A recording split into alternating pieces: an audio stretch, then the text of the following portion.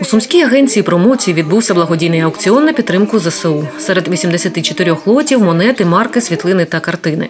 Пані Наталія, одна з організаторок заходу, каже, теж брала участь, але довелося поступитися. Вищу ціну за бажаний експонат запропонувала колега. За ось цю чудову монетку цікаву у нас е, була боротьба, в тому числі разом у мене із пані Оксаною.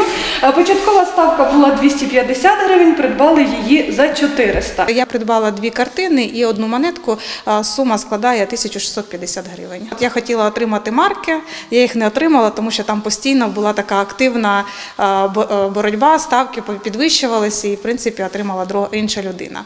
Найбільшу суму 1550 доларів торгували за картину художниці Ірини Проценко, розповідає організаторка виставки продажу Юлія Левченко. В результаті аукціону ми зібрали власне аукціоном близько 60 тисяч гривень. Е, І ще просто на карту люди е, 5 тисяч гривень е, надіслали, і в нас була скринька. е, Теж 5 тисяч гривень ми зібрали в скриньку. Ну тобто, по факту, в нас виходить 71 тисяча, там трошки з копійками.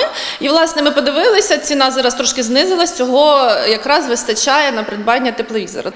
Загалом доброчинний проєкт мав на меті зібрати 74 тисячі гривень на тепловізор для бійців сумського спецпідрозділу, які боронять Бахмутський напрямок. Дохід від продажу буде передано ЗСУ, розповіла Юлія Левченко.